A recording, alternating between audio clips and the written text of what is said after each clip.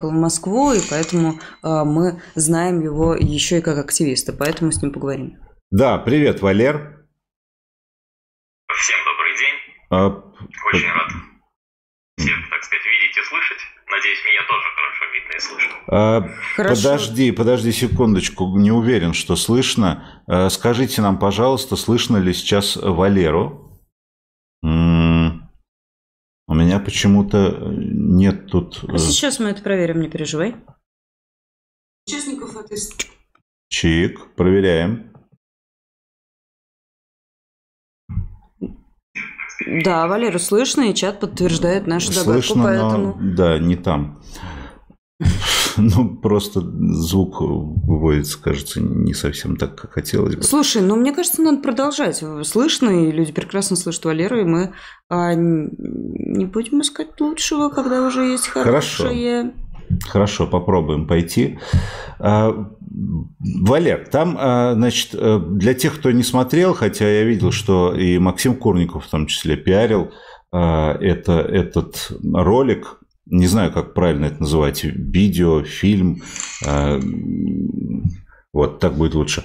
Э, там семь участников было. Я так, если я правильно понял, часть э, уехали из России, но большая часть все еще находится в России, да? Да, на самом деле так и есть, там просто ведущий. Это вообще была передача на канале Тифло Инфо. Есть такой специальный канал для незрячих, который как раз, а, в рамках которого освещаются различные аспекты жизни незрячих людей. То есть это, например, бывает рассказывается о новых программах, которые появились для незрячих там под iOS, под Android или под Windows. Или там, я не знаю, вот одно из видео там есть, например, как э, Брайлю можно обучать детей различных возрастов. То есть это не то, чтобы политический канал, это как раз канал, который различные аспекты освещает. Его очень интересно смотреть, мне кажется, было бы всем. Поэтому, пользуясь случаем, я его порекомендую. Тифло Инфо. Это шикарный канал, подписывайтесь. Это канал в Ютубе, правильно я понял тебя? Да, да, да, да, да, да, это канал в Ютубе. Вот. А, в общем, я, э, ну, мне, мне ссылку прислал Валера, э, я включил, а, не сразу понял, что вообще происходит, а потом втянулся и э, стало очень интересно. А, фактически это что? Это просто ребята высказывают свое мнение на тему того, что началось 24 февраля. Как они это называют? Как они об этом говорят или не говорят? Как они это переживают? Что для них изменилось в жизни? Как окружение реагирует? В общем, все то на самом деле, о чем Э, говорим и мы зачастую, в том числе на ночных, например, эфирах, да, э, но тут вот есть особенность. Это люди, объединенные э, отсутствием зрения. Меня, конечно, удивило то, насколько ясен взор бывает у незрячих людей, на, на, на то, то, как, то, как четко формулируют мысли, Э, которые зачастую я даже не могу, э, может быть, так четко сформулировать, то как э, ну, действительно видит гораздо лучше происходящее, чем многие из наших соотечественников. Валер, скажи, вот эти ребята собрались как? Случайно подобрались, просто незрячие и все? Или все-таки по политическим каким-то предпочтениям их собирали? Нет, ну мы же, в принципе, ранее знакомы были, а, поскольку, ну, считай, я со своей будущей женой познакомился как раз в рамках того, что, а, в принципе, был э, чат в Телеграме, а, когда у них примерно, по-моему, 6 марта тоже митинг в Москве должен был проходить, а я тут одиночный пикет в Самаре проводил. И так вот мы все постепенно там потом перезнакомились. Но, в принципе, канал Info уже давно существует, и в частности ведущего я давно знаю, а из публичной плоскости я, например, его знаю с того момента, когда его из радио Всероссийского общества слепых поперли, а, просто когда он в этом радио подчеркнул в одном из эфиров, что а, Крым является частью Украины, причем он акцентировал, что это его личное мнение, а не мнение редакции. И вот так вот как бы мое знакомство с этого с ним, можно так сказать, началось. То есть я, в принципе, об этом человеке узнал, а потом уже как бы контакты стали налаживаться. А, вот. а Максиму Курникову вообще большое спасибо. Он предложил такую идею, чтобы этот а, эфир повесить на, я так понимаю, на Эховском канале. Я не да, знаю, да. насколько Да, если он там висит, это просто круто, я не проверял вот в последнее время, но ему прям просто респект. На самом деле у нас была как раз такая цель, чтобы вот голоса, даже не важно там в принципе, что незрячих, да, мы не, не столько именно на этом акцент делаем, сколько делаем акцент на какой-то адекватности наших голосов. По крайней мере, мы очень э, старались, я так думаю, да, чтобы это прозвучало именно э, чтобы были слышны, в том числе э, канал Тифоинфо и украинские зрители смотрят и белорусские, э, чтобы а, была слышна какая-то адекватная реакция, потому что э, в сообществе незрячих тоже задаются иногда вопросы со стороны Украины, да, ну где же, почему вообще из России как-то вот нету помощи, нету поддержки, понимания, и вот нам это важно было в очередной раз подчеркнуть, что э, не все э, здесь, в принципе, сторонники оккупации, да, не все здесь хотят, так сказать, бежать впереди паровоза и гибнуть черт знает за что. Но, к сожалению, я вот буквально вчера нашел обратную сторону медали. Мне тут переслали запись одного из, значит, чатов э, закрытых из, по-моему, Брянска, не буду а, точно это. Но суть которого в том, что просто, представляете, собрались, значит, люди, ну, скажем так, пожилого возраста, ну, допустим, человек шесть их было с разных городов, и стали просто два часа поливать, поливать помоями заочно там другого человека, который с ними не согласен, я так понимаю, по, по как раз-таки по войне. И если, например, у наш эфир отличается тем, что а, там у нас открытый чат, пожалуйста, когда шел эфир, там писали люди, а, так сказать, противоположной а, точки зрения, да, что вот там русские молодцы, и не буду эту хрень цитировать, в общем, а, да, как бы а там просто вот два часа, это даже хуже Соловьевщины какой-нибудь. Там мы ждем ужесточения законодательства, чтобы написать на этого на предателя донос. И там просто такой, значит, значит, речь вот эта старческая, и вот такое дыхание, так. И ты просто в ужас впадаешь вообще. Думаешь, господи, хорошо это на Яндекс Диске лежит, а не в Ютубе. Правда, так стрёмно было. Это вот мне прислали, я думаю, как хорошо, что этого. Я надеюсь, что, это, что этого нет в Ютубе, правда. Ты знаешь, тут, э, тут в чате нам реагируют на твой рассказ и пишут, что это же почти как чатик с моими родственниками. Только я в чат вхожу, там такая же вакханалия, пишет Диана.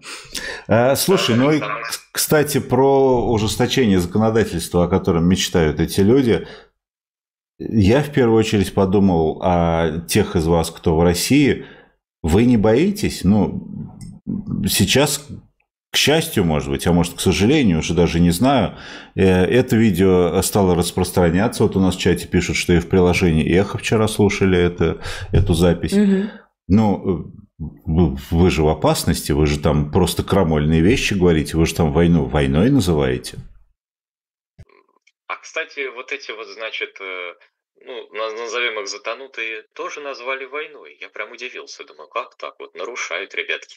Нет, если честно, ну, у нас, без, у нас опасность, она вот, это с детства, как говорится, ой, ребят, может вы на улицу не пойдете, а то там на вас кирпич э, вдруг упадет.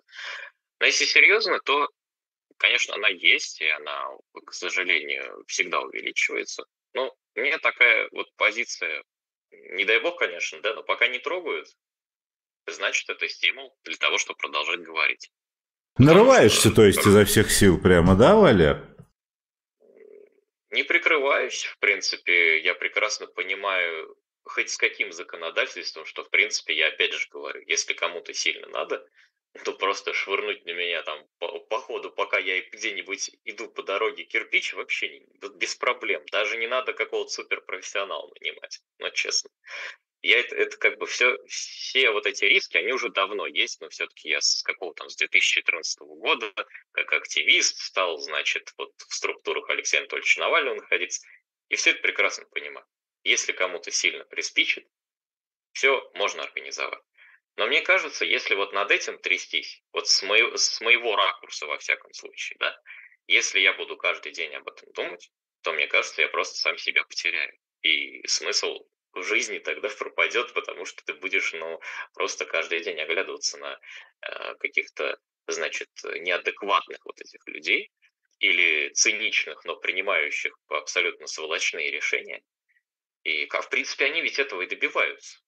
чтобы одна часть, ну, то есть ее физически подавить более активную, да, как они это, в принципе, делают с оппозицией, а остальные, чтобы, даже неважно, уехали или они нет, чтобы они просто выпали из информационного поля и не доносили до сомневающейся части, вот тут я подчеркну, потому что, ну, как бы по тем или иным причинам ведь осталась прослойка, которая, ну, банально, может, подыхать не хочет непонятно где, да? И это, наверное, тоже, я думаю, пусть и идет в плюс, потому что, ну, хоть как-то люди задумываются. Те, которые, значит, вот несут чушь, которую они несут, с ними уже там бесполезно. Это какой-то новый, другой, я не знаю, биологический уровень или что там с ними случилось когда-то, да? Потому что я не понимаю, как можно, я это уже во многих эфирах говорил, я не понимаю, как нормальному человеку а, может хотеться убивать, значит, э, ну, там, военного противника, но когда ты говоришь, слушайте, ну вот инфраструктуру бомбят энергетическую, да и хрен с ними, пусть и дети, и все они там мерзнут, вот и, и все, мы вот победим, и все будет нормально. Просто шизофрения. Валер, и, а я... вот ты можешь немного про свое окружение сказать? Э, поддерживает ли тебя окружение? Я имею в виду э, близких родственников, соседей, друзей, коллег – не знаю, сокурсников, э, насколько ты почувствовал одиночество или, может быть, наоборот, почувствовал единение после того, как началась война? А, на самом деле а, были разные реакции в том смысле, что, ну, они, с одной стороны, были ожидаемые, то есть те люди, которые, в принципе, меня всегда поддерживали, они такими людьми остались, да. Те, кто были нейтральные, ну, грубо говоря, ну, занимаются какой-то фигней, и ладно. То есть они, они тоже, в принципе, как-то особо и не поменялись на самом-то деле. Вот. А, я на учебе, во время учебы, в принципе, особо не обсуждаю. Есть прям единицы людей, которые понимают примерно хотя бы, о чем я да, разговариваю и зачем, и для чего это делаю. Да? А в основном, конечно, обстановка такая, что вот здесь, в принципе, я вот так вот разговоры слушаю в коридорах, да, в колледже, и многие, кто обучаются, но они в другом информационном поле, конечно. Они, даже если ты пришлешь медузу, они ее просто... Ну, такое ощущение, как будто до людей еще не дошло, что это их касается. Я вот просто пример маленький приведу. А, недавно же, когда были вот эти суды вот э, у Яшина, я, в принципе, на вот это на зачитывание приговора два раза ездил, то есть первый раз там вот это было минирование, второй раз я туда тоже попал вместе со всеми, кто приехал. И перед тем, как дойти до суда, вот там надо было дорогу перейти. Я приехал с другой стороны трамвае и дорогу перехожу, значит, и со мной идет бабушка. Я говорю, слушайте, а вот к суду так иду или неправильно? Она говорит, правильно, там толпа даже какая-то стоит. А что там происходит? Я объясняю, говорю, вроде тут у вас в Москве вот Илья Яшин, там такой-то, такой-то депутат, вот, значит, там видео, такие-то вещи сделал, там социальное такси, немножко и так рассказываю. Вот, говорю, человеку хотят 8 лет с лишним дать за войну. За то, что он просто войну войной называет именно. Он, он просто об этом говорит. Да, можно с ним там, хорошо, хотите и не соглашайтесь, черт с вами, да, у вас там земля плоская, ради бога. И человек просто спокойно отвечает, а, у меня свои проблемы, я там, их своего хватает мне, ну их типа всех. И вот это преступное равнодушие, ну то есть ты учебник истории просто видишь перед своими глазами, да, когда люди вот инфантильность вот эта, нежелание вдумываться в то, что вокруг, а меня больше вот это даже убивает. Потому что те, кто орут подчас, да, я вот от женщин, кстати, часто слышу, да я бы взяла автомат, да я бы там поперлась. Ну, понятно, что она никуда не пойдет, она поэтому и орет, что прекрасно понимает, что никому она там не нужна. Ну, просто даже исходя там, да, есть там категории, но медицинские работники, там, это другой вопрос. Могут. А так, это все вот из-за безопасности, да, из-за безопасного диванного расстояния все, что хочешь, можно проорать. И это, конечно, вот равнодушие это самое страшное. И то, что когда ты людям объясняешь, они, елки-палки, ну мы, ну что ж так вот, ну они же должны в армии служить. Ну это поколение постарше, да, от них вот слышишь такое. Мы должны, значит, ну вот они пускай идут, служат, у нас же тоже это все было. И Ой, ну да, его забирают. Ну что ж, надо ему там... Ну нет экипировки хорошей, но мы что-нибудь вот там купим, придумаем. То есть люди даже элементарно не задаются а, вопросом, такой черт вообще там мой там единственный или даже не единственный ребенок, какой черт он туда пойдет? Вот зачем это надо? Вот это вот размывание своего «я», это что вот в Советском Союзе было вот вбито просто, да, когда жизнь человека ставится, ни во что не ставится, а государство превалирует просто на, на 100% человека. И вот это вот страшно. И самое для меня печальное, что вот эта зараза, она, в принципе, я думаю, э, довольно хорошо передается, передалась и уже и на наше поколение. И, и выходить из этого всего будет очень тяжело обществу. Да и на следующее поколение ее активно передает. Но тут в чате, знаешь, пишут, что э, многих зарепрессировали до такого состояния, что они молчат, другие уехали, другие в тюрьме, остались только зомби. И мне вот поэтому очень ценно ваше высказывание. Э, да, это была встреча в зомби, но для меня это полноценное высказывание сообщества. И для меня ценно, потому что там прозвучали голоса, которые в том числе остались в России. И которые не сидят И которые при этом. подтверждают, что нет, не остались только зомби. Не только зомби остались, а люди, которые неравнодушны, которые готовы об этом говорить, которые готовы продолжать рассказывать бабушке на переходе о том, кто такой Илья Яшин, все еще в России. Да, несколько человек передают тебе привет. Из Дагестана передают привет. Э, РА, мы с ним вместе были на мероприятии. Ольга пишет, Валерий, привет, мы с ним вместе уходили с январского мероприятия. В общем, многие тебя знают, многие тобой восхищаются. Спасибо тебе за то, что остаешься самим собой, за то, что продолжаешь говорить, несмотря ни на что. И очень желаю тебе безопасности, Валера. Привет Спасибо жене. Большое. Спасибо большое за комментарий. Обязательно передам. Пока-пока. Спасибо, Пока. Валя. Слава Украине.